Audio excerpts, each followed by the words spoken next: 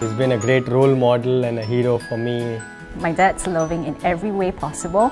He prefers to not lecture and lead by example instead. He's always there for us. When he promises you something, he will 100% get it done. Even though he's stern, he's actually a soft-hearted man. My dad always made me feel that I could be whoever I wanted. He would always be there to offer me solid advice. So the best advice Don't do something for the money. Always be grateful for the things you have in life. is to stop splurging and start saving. Do the right thing, our girl. Uh, life is not a sprint, and whatever I do, I have to you know, ensure that I pace myself out. One message I'd like to give my dad if he was watching is that I guess if I can be half as good a dad as you are, I'd consider myself to be a successful dad. He is the first man in my life. No matter what, he will protect me.